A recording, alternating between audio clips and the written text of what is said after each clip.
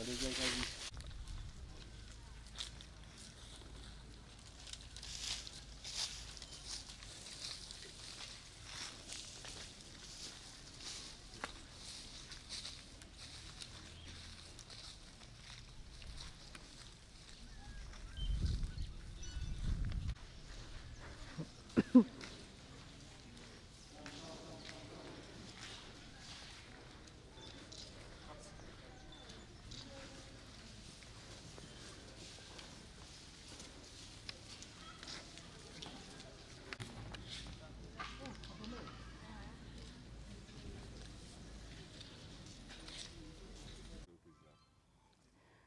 Ah, ekyamaadhi kirina okujja mu maiso amaadhi gakali kutumala abantu baweze ebyalo biweze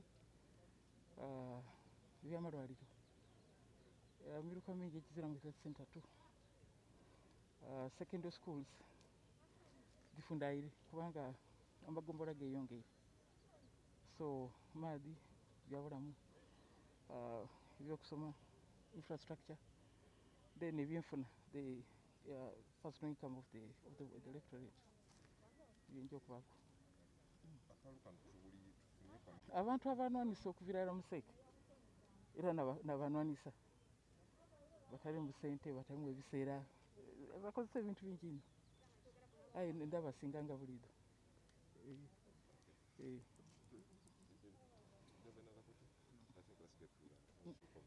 the issue of uh, health and sanitation especially provision of water is very very high on the agenda. It has to continue. The water is not sufficient. There are too many people in the community and uh, little distribution. Oh, I've, I've done quite a lot. I think I've distributed over 150 boreholes but they're still not enough. So that one has got to continue. Uh, the issue of uh, health services many parishes have no health center too. That is something we also need to address. Uh, we need more secondary schools because we have uh, several new sub-counties, especially town councils. So the, the rural or the town council does not have a secondary school. But what is coming out of the community is a, a strong desire for technical education. So that's something we also need to address. Then, of course, the other road infrastructure. And then income, income generation for the households. Is it that the people within Lapata are being invited? Oh, yes, yes, yes. The major financiers of Saram Musumba are within our party. They are within our party, within the cabinet. It, it- she's fully financed by the NRM. Yes. mukairo buki akalulu kaweire obwemuke hmm? osuubira okuwangula bwonamala obwemuke oiza ku buki ah, ah, eh, tu- tambula mpola tukali kitandika kabireko oti ojaga ebyo bindekere you watch this face. What is your expectation of at the end of that? obviously I'm going to win. No question about it. No question about it. I'm very confident. Nze ndi bugumu oti nasula yansi. No, this time you have been, you you have been worried that uh, Salam Soma may take you to court even if you, you win. What's your take on that? It's not just my worry. They have talk, talked about it. They have planned. They have discussed it in their meetings. She did not come to win. Their, in, in, their desire is to ensure that I don't become the speaker. She knows she cannot win. So what they say, make sure she's in court. That's all. She, she knows she can't win. But there are people for whom, whom she's working within the NRM. This is about succession in this country. That's what the battle is about. There is a desire to stop leaders from other parts of the country from ascending to the to high office. That's what this battle is about. It's not about this election. Mwisoga. Mm.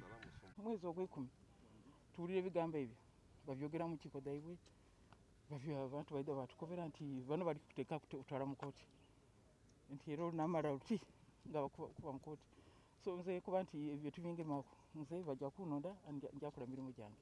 Aye nga ekyokuntwala mu kooti ti lwakuba ndi byobululu.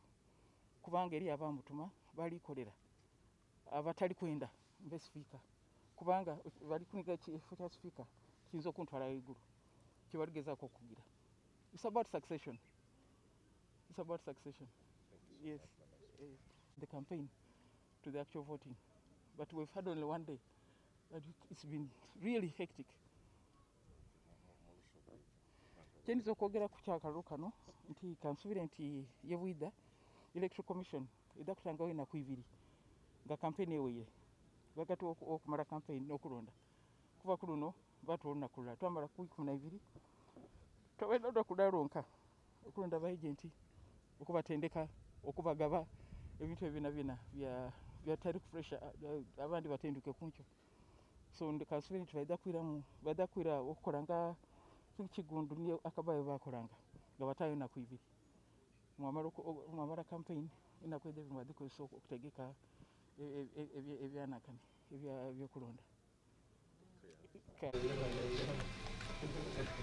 Gracias.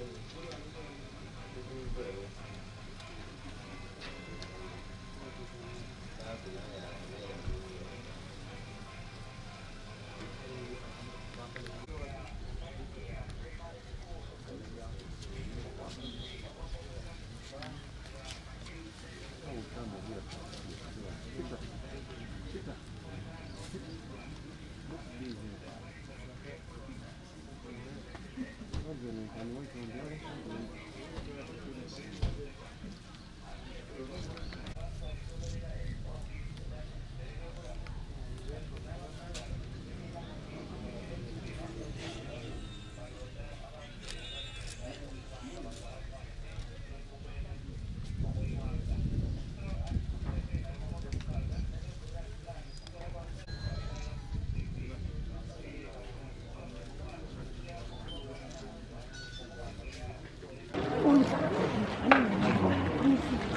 всегда есть.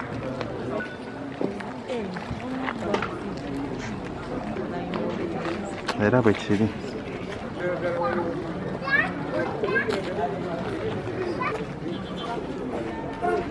Soca în el.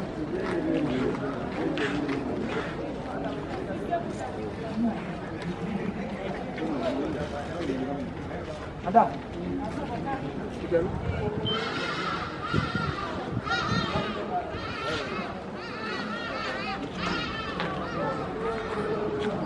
okusinziira mu mbeera gye tulimu.